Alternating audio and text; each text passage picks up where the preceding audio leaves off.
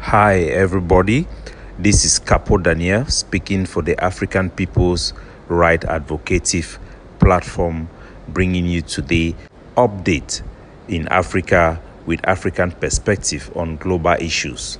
We will start with video images that have emerged from North Africa with Wagner PMC Group's boss Prigozhin. Работаем.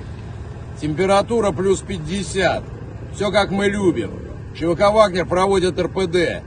appearing in a video where he states that he is in Africa with the Wagner Group, and I quote, We are here working on temperatures over 50 degree with the Wagner Group in conducting reconnaissance and search operation, making Russia greater in Africa and Africa freer, eliminating ISIS, Al Qaeda, and other cartels and gangs in Africa.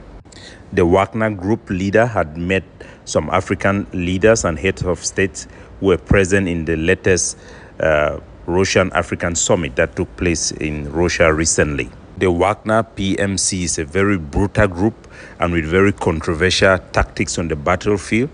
And uh, so there are a lot of reservations, even though Africa needs a lot of assistance in combating hotspot conflict areas. We are still having a lot of reservation with the practices and uh, standards of our Wagner Group. But Africa, for the most part, is a drowning man, and we will cling on to anything to survive, including the crocodiles.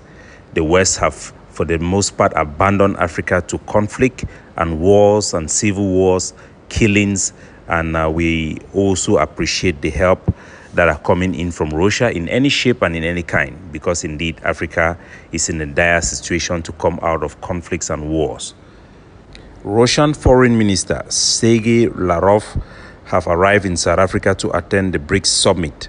He will be attending the summit in person after Russian President Vladimir Putin pulled out a few weeks ago as South African President Cyril Ramaphosa announced at that time that Putin will not physically attend the BRICS summit because of the arrest warrant that was issued by the International Criminal Court in regarding alleged crime committed during the Ukraine-Russia war.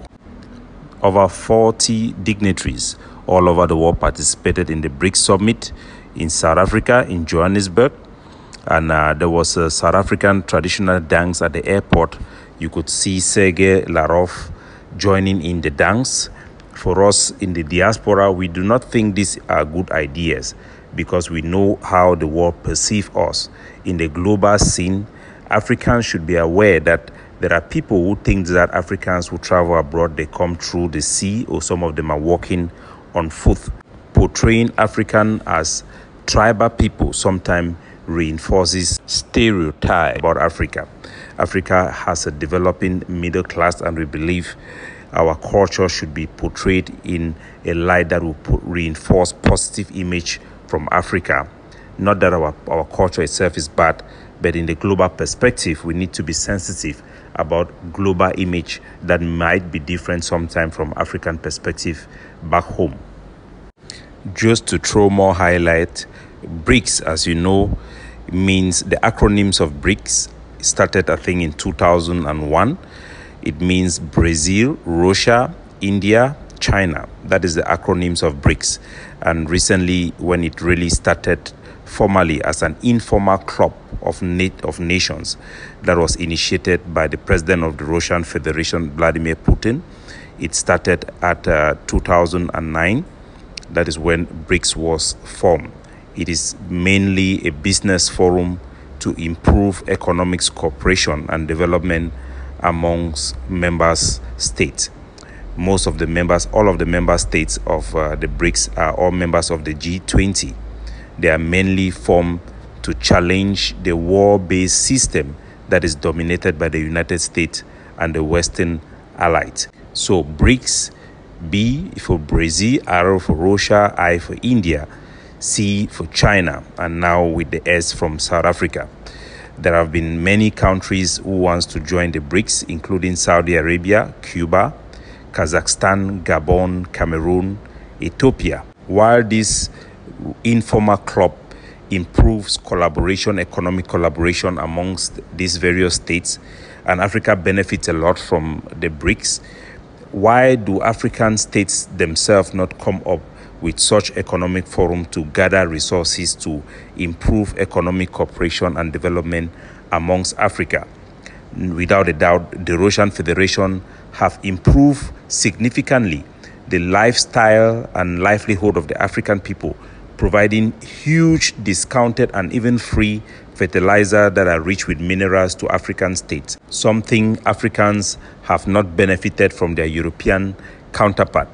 We welcome the donations and support from the Russian Federation, but Africans should know that the reason why the BRICS was created by the president of the Russian Federation is for the Russian interests and the interests of other global powers like India and Brazil that seeks to challenge the dominant and mainly monopolistic power of the Western states, including the United States of Africa.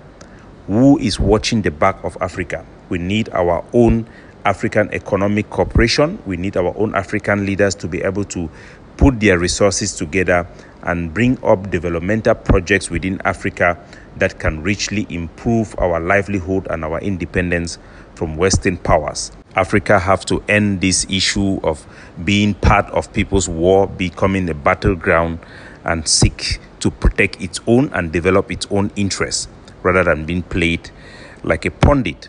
Nevertheless, we think that the BRICS have brought more improvement in the livelihood of Africa than the G20, despite the fact that the G20 have put in the disposal of Africa a huge amount of money for climate change and development, but most of those money comes in the form of loans and do not give Africa any better prospect in its economic projection for the next long term period.